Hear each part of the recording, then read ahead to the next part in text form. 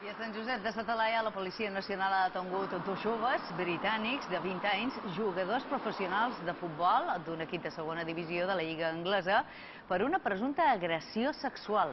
La víctima seria una turista de 9 anys, també del Regne Unit, que va viatjar a Eivissa amb els seus pares. Segons el testimoni de la jove, després de conèixer els detenguts en un local, se'n varen anar plegats al seu hotel de Cala de Bou. Està previst que els detenguts passin a disposició judicial en les pròximes hores. La policia investiga el cas i cerca un tercer futbolista que podria estar implicat en la presumpta agressió.